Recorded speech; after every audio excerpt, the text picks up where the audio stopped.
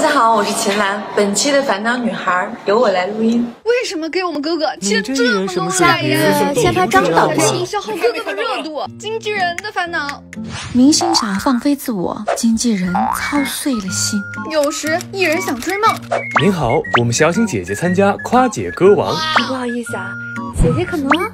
好啊好啊好，我可以我可以。不，不可以啊！有时艺人想放飞自我。哇，我要支持他。这真像炒作，咱别表态。真的不要表态。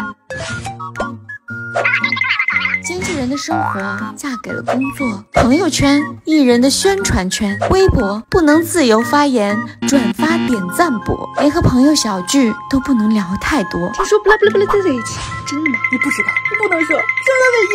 周末、节假日不存在的，二十四小时悬着心，毕竟瓜常出没在深夜。经纪人还是万年背锅王，哥哥营业频繁，怪经纪人。血汗工厂压榨之王，明星营业不频繁，还是怪经纪人。经纪人干嘛使的？快让哥哥出来营业吧。太难了。